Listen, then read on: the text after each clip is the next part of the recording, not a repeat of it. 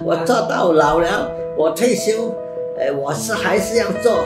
我这个未来基金是主要是发扬中华文化，好像啊，呃，我们有画展啊，呃，画书展啊，呃，我们就呃捐钱给他们啊，主要在发扬。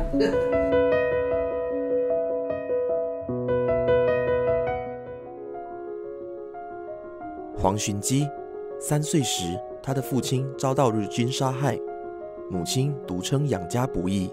他十岁进入小学，小学毕业后外出打工，后以十九岁超龄身份报读新山宽柔中学初中一，靠着半工读的方式一直读到高中毕业。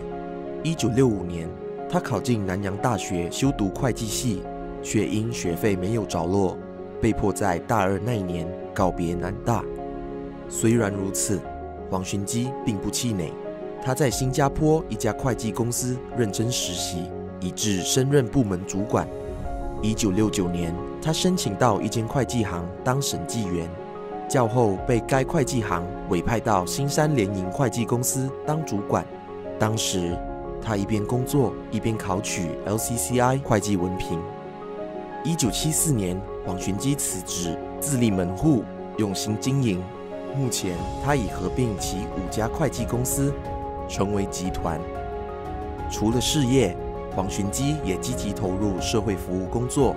事业有成时，他更是负起社团要职，推动慈善公益事业。他谨记海南乡情，多年来支持并推广海南同乡会的会务工作与活动，从青年团到母会，从普通理事到领导。从新山海南会馆到全国海南会馆总会领导层，他鞠躬尽瘁。黄寻基也谨记宽中的母校情，那是滋养他热爱中华文化、视服务社会为己任的地方。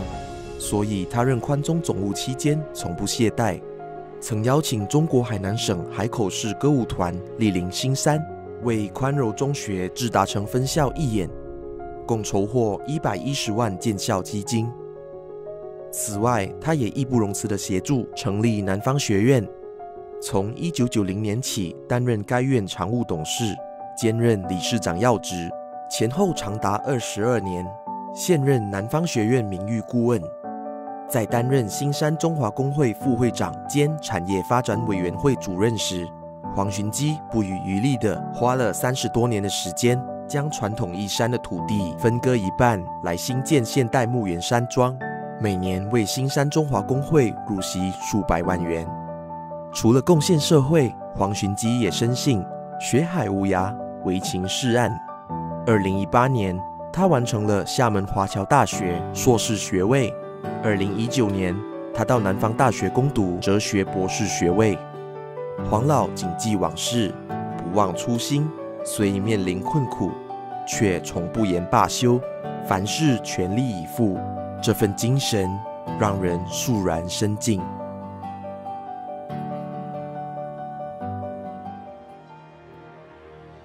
好啊，呃，非常感谢啊，我这一次能够得这个呃乐龄呃特优精神奖，呃，我也没有想到，呃，我这个年纪还有。呃，拿到这个奖，那么这个奖的呃来源是因为呃上一届的呃得奖人黄建成呢，他介绍我说，哎，这个有这个精神奖啊，你可以去申请了，所以我就来申请这个呃乐龄呃精神奖，那么我也非常感谢呃你们这个组织啊，能够。肯定我们这些老年人啊，呃，到了这个年纪还能够呃发挥呃一些呃言论，呃，尤其呃在我们过去呃为娃社所做的东西，呃都能够有一个交代，那么对我的呃太太呃孩子也是一种肯定啦，呃，我非常感谢。呃，这个乐龄精神奖啊，呃，分发给我们啊。那么，我也希望这个乐龄精神奖啊，能够每一年都主办，让更多的呃上了年纪的人，呃，能够肯定他们的贡献。啊、这是这是我对这个问题的看法啦。谢谢。嘿嘿嘿。